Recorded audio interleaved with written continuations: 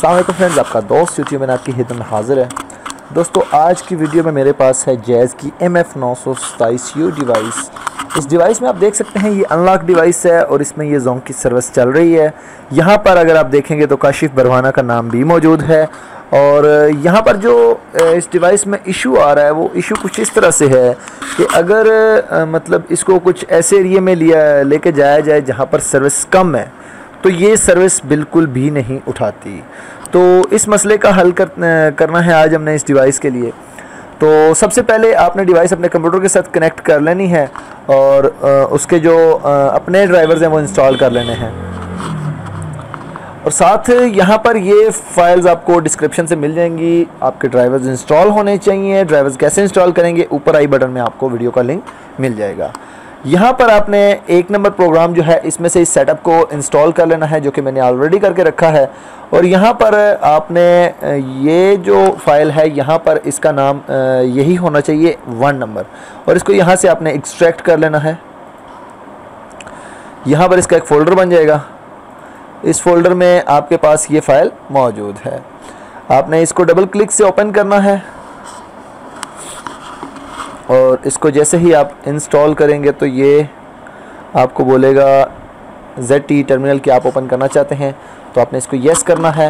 ये ऑटोमेटिकली तमाम यहाँ पर डिटेल्स शो कर देगी। यहाँ पर सॉफ्टवेयर पाथ में आपने जाना है और ये जो ऊपर आपके पास पाथ मौजूद है, इसमें से आप इस फोल्डर का पाथ पहले उठाएँगे।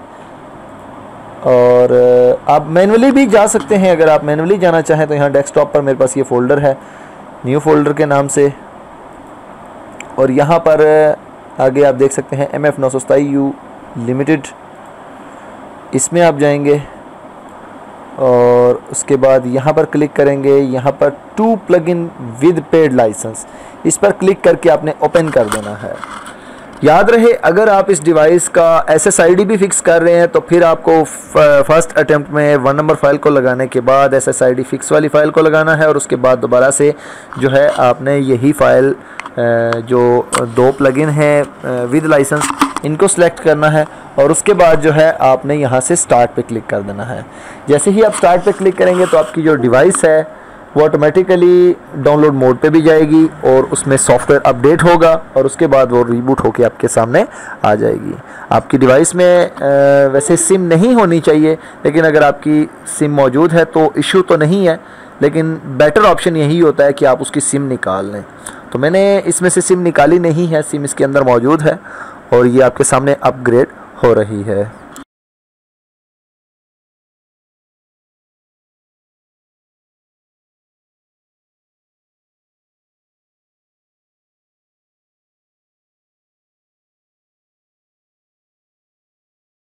जी तो आपकी फ़ाइल तकरीबन कंप्लीट हो चुकी है और आपकी डिवाइस जो है रीबूट हो रही होगी। 99 परसेंट पर आपके सामने रुकी है। जैसे ही आपकी डिवाइस कम्प्लीटली रिबूट हो जाएगी तो उसके बाद आपकी सर्विस भी आ जाएगी और यहाँ पर 100 परसेंट सक्सेसफुल हो जाएगा। तो यहाँ पर हम थोड़ा सा मज़ीद वेट करेंगे और ये कम्प्लीटली ऑन हो जाएगी और यहाँ पर 100 परसेंट आ जाएगा।